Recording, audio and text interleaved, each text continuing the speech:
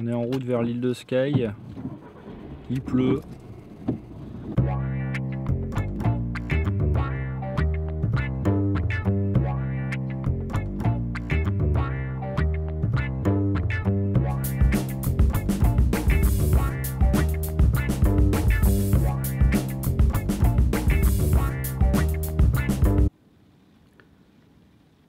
Ça y est, on est sur l'île de Skye.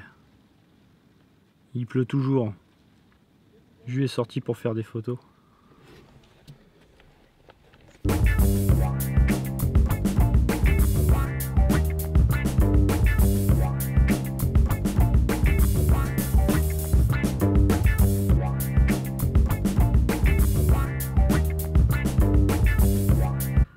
Ça fait 40 minutes qu'on marche euh, dans des conditions absolument adorables.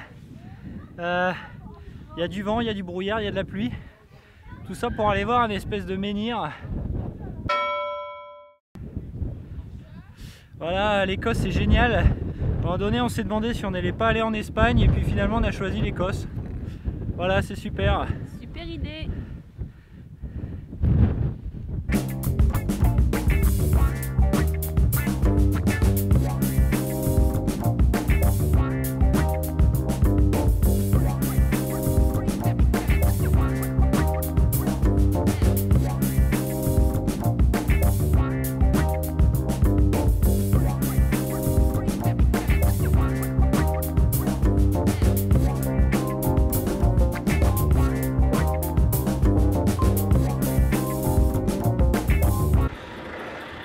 On est au port, on va voir les horaires des ferries pour et Harris. Ah bah elles sont là en fait. Demain on est mardi, tu vois il n'y en a pas le matin. Oh. Bon finalement on va pas à Lewis et Harris. C'est un peu trop tendu en termes d'horaire. Ça nous oblige à rester plus d'une journée et pas trop envie quoi. Non, je pense qu'on va plus profiter de l'île de Skye et puis euh, ce sera très bien. Ouais, enfin, on va essayer de profiter quoi, si on voit quelque chose. En espérant que le temps se dégage.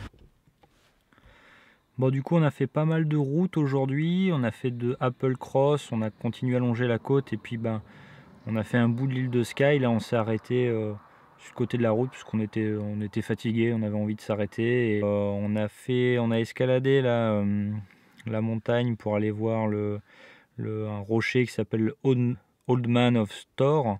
C'est une espèce de menhir là c'est assez marrant, même si on n'a pas vu grand chose et que s'est pris pas mal de vent et de pluie, mais c'était cool. On a continué la route sur la côte de l'île de Skye, sur le... on a fait la péninsule de Toternich. Bon,